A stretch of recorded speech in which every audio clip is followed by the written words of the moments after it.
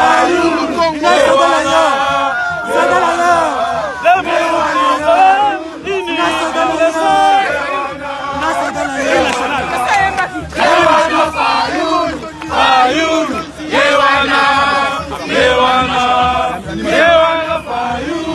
Fayulu!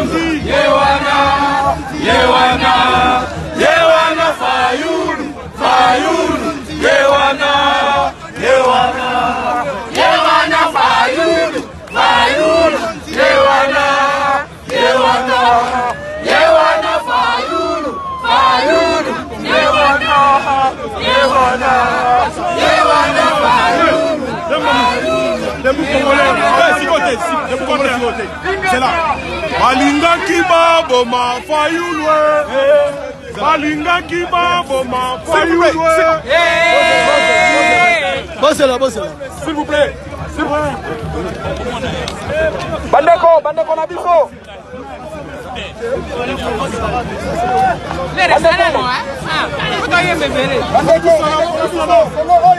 ah, kongo oye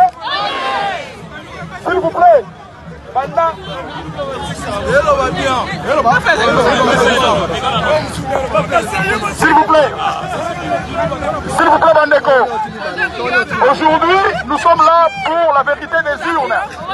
Mais cette vérité des urnes a apporté, depuis la proclamation, 18 personnes. Alors mes frères et sœurs, je vous appelle et je vous invite à observer